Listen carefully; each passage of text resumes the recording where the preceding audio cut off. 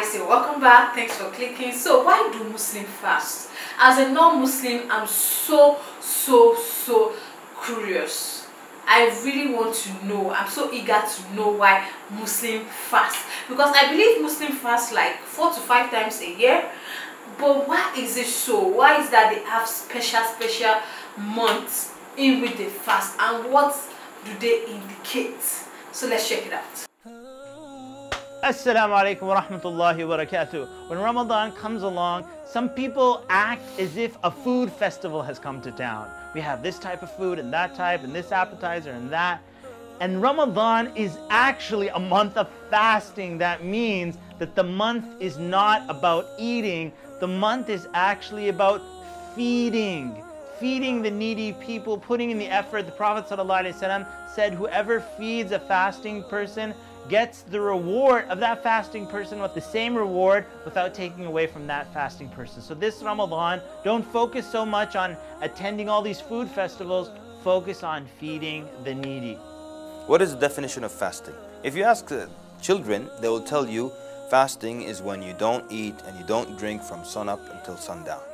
And sometimes a lot of adults use the same definition. That's it. That's all fasting is. Okay. That's it? Just fasting? Sun up, sundown, don't drink, don't eat? What happens then if I'm fasting and then I forget that I'm fasting and I eat? This is actually a true story. One imam, he was invited to a buffet and he ate and drank and he had like cake and drinks and you know buffet you know you, you know the rule when you go to a buffet you either break even or you profit so this guy profited alhamdulillah he ate a whole lot he said then when i was totally done then I remembered that I'm fasting. So does his fast count or not? Of course, the answer is yes, it counts because he completely forgot. So that means it's got to be more than eating and drinking. So it's got to be something else. Of course, as-sawm, fasting means to abstain. So it's not just abstaining from eating and drinking, it's from all kinds of other things. It's from lying, it's from bad words, it's from cursing, it's from backbiting. Many people now, their main concern is what goes into their mouth. These are the people who exaggerate. Once they make wudu, they'll spit like a hundred times to make sure there's no wetness left in their mouth whatsoever. Nothing goes down the throat. Even though in the Sharia, a little bit of wetness is ma'fu, it's pardoned, it's not an issue. But they exaggerate. Some people even tell you, and this is all wrong, but they tell you, don't shower in Ramadan because, you know, water will come in through your ears. I mean, who drinks through their ears anyways? So just exaggerations. Eh? And don't go, don't use perfume uh, don't smell food, don't, you know, if you pass by the kitchen, hold your breath. All these exaggerations, just making sure nothing goes inside. But they don't care what comes outside. So they're lying in the middle of the day in Ramadan. They're backbiting, they're spreading rumors, they're cursing, they're saying all kinds of horrible things. And they think fasting is nothing goes in here. And as long as that's the case, then I'm fasting. The acts of worship, one of their aims is to improve our manners. And we see this across the board with all kinds of acts of worship. With fasting, it's very clear and very pronounced because the Prophet ﷺ taught us that if you're fasting and someone is fighting with you or cursing you or anything like that, you say out loud, Inni sa'imun, inni sa'imun. I am fasting, I am fasting. You say it out loud also so they hear and maybe they'll be put to shame a little bit and refrain from, you know, their animosity or their fighting towards you. So the purpose of fasting also is to improve and have an impact on our mannerisms and our akhlaq. So remember that when you're fasting, it's not about what goes in only, but it's also about what comes out. And what comes out can be far more serious than what goes in. So be sure in this month in Ramadan, you're very, very careful about what you say. You're very, very careful with your tongue. And may Allah subhanahu wa ta'ala accept from you. Wassalamu alaikum wa rahmatullahi wa barakatuh. Wow.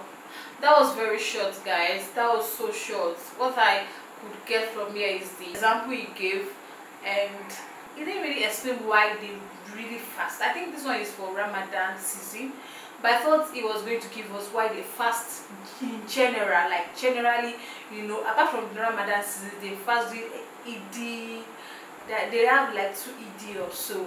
You get it. So I was expecting to, I was expecting him to explain what each of this fasting signifies, but I think he just picked one of the fasting, which is Ramadan, explained to us, and he let us understand that when you're fasting don't be distracted. Even though when you go out to an occasion where food and food are, are being shared don't try to be tempted. I think when you're fasting you're in that kind of midst of people you're in the midst of people that are eating food you it's either you take your own portion and put it inside a pack you know a container then take take it home then when you break your fast then you eat. Than for you to just eat because the crowd are doing it but you you know the purpose of fast of you fasting. So no matter where you find yourself you should be able to cope. Me i don't believe in that thing that they will say oh i don't want to sense food.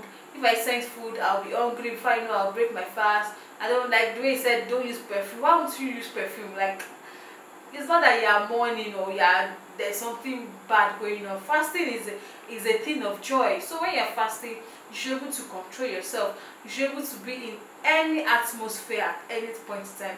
You even though you are in a place where people are cooking different delicacy you should not be tempted you should not be tempted. And that was beautiful to watch like i love the way he just explained you know gave an example of a man that actually broke his fast and you know and i'm sure it's because of maybe he was thinking of what people say or i don't know or he was thinking of what how people see him.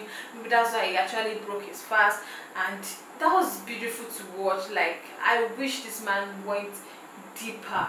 I think i'm going to search more on this particular video because i re i'm really really interested in it. I want to know why they actually fast. They fast like four to five times if i'm not wrong yearly. Why do they fast? I think there was a, there's a particular fast one of the fast i know of. There's one that is called ramadan. They will fast during ramadan.